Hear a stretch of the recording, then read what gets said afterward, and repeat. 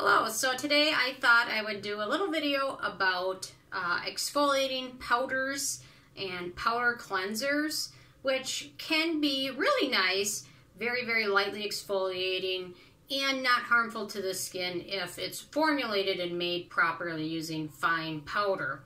Some of them can be really damaging to skin and even cause uh, micro tears in the skin.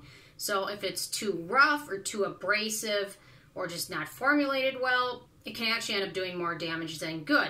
But a really nicely formulated one can really leave your skin feeling clean, uh, soft, and cleansed, and just really nice and bright.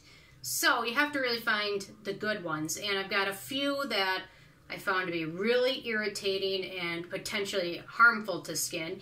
And I've got a few ones which really did a nice job.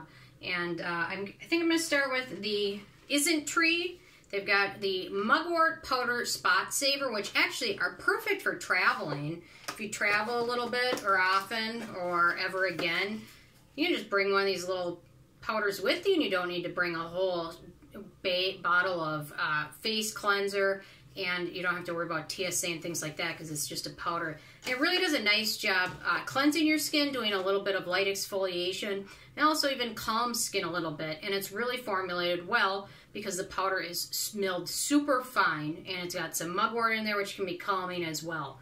So this one is one of my favorites. Another favorite of mine is the Cosrx Centella Cleansing Powder, which are packaged again really nicely. They're like this. So if you're going for a quick trip or an overnight, one little thing is all you need, and it's got Centella asiatica in there, which is great for skin. It foams up a little bit, and the powder uh, does a nice job kind of cleansing, removing sunscreen, uh, sebum, things like that. Does a great job with that, and it has no fragrance in there. So it's perfect for sensitive skin that can't handle a lot of uh, cleansing and a lot of powders and scrubs and things like that. I personally think it's kind of a perfect kind of scrub powder that doesn't damage skin. For one of the ones I really disliked, the Mad Hippie 2 mil, two, two minute 2 million polishing mask. This ends up with no foam. It doesn't cleanse skin. It's really rough and abrasive and it really just didn't do much of anything good for my skin. To be honest, after trying it a few times, I probably won't ever touch this bottle again just because it left my skin feeling not clean, kind of irritated, almost red afterwards, and just didn't offer anything I liked. So, I don't know. Mad Hippie, their original releases were great. Some of their newer stuff has just left me disappointed, though. This one, and then they had another product, was that a cleansing balm Cleansing oil. Did not like that one either, so I don't know. We'll see what else they come out with. I won't rule them out yet. Okay, another one I really like is the Good Molecules Pineapple Exfoliating Powder, which uh, gives you a little bit of a lather, which is nice. Does a great job cleansing skin and removing makeup or sunscreen, mascara, things like that. Uh, you can really pick the amount you want to use which is nice. And uh, so you can just pour out as much as you want or as little as you want. And it really does a good job cleansing skin, kind of exfoliating it, removing any flakes, and it does it very nicely without irritating skin or leaving it feeling uh, dry or uh, flaky or irritated afterwards. So this one is a massive love. Good Molecules is doing really good lately, so I'm really enjoying them.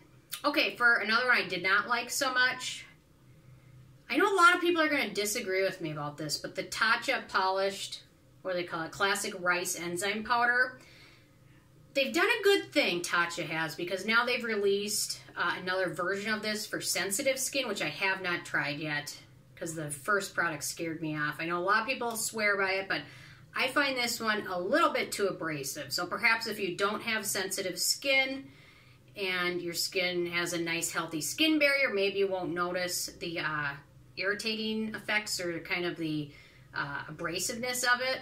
But I just personally didn't care for this one. I'll have to try the sensitive version. If you've tried the sensitive or the other version, let me know what your thoughts are.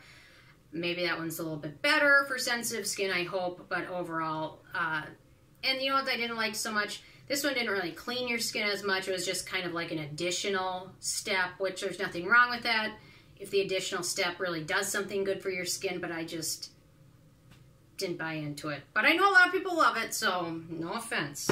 Don't get mad. Okay.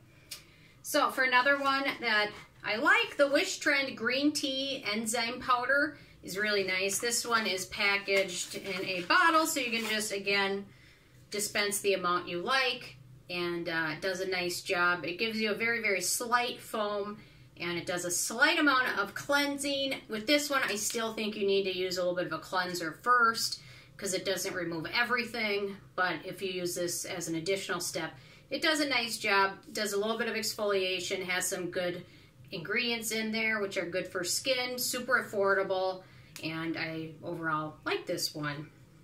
For another one I don't like, and I know a lot of people also will disagree, I went through several of these little bottles. The Amorepacific Enzyme Powder.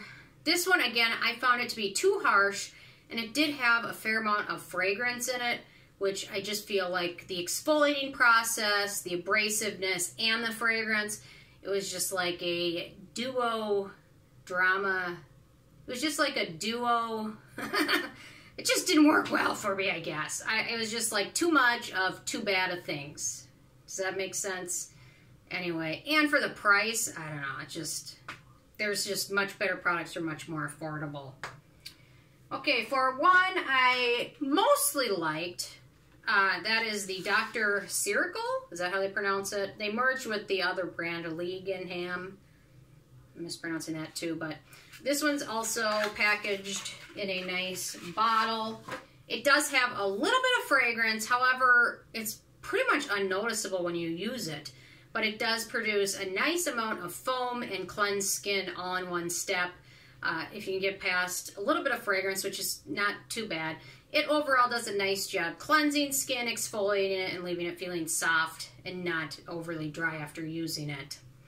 And for one I am totally torn on, which doesn't happen often, it's the Fresh Vitamin C Nectar Pow Glow Powder, which come packaged like this. The packaging is not the most convenient, because you need to fold it, rip it open, and dispense both. If you use them separately, you will not be happy because they need to be mixed. But it is fine. It does a good job cleansing. It has a little bit of scent in there, which I'm not a huge fan of, but it's not mostly noticeable. And the powder is pretty much fine, which is good. And it does a pretty good job cleansing skin overall.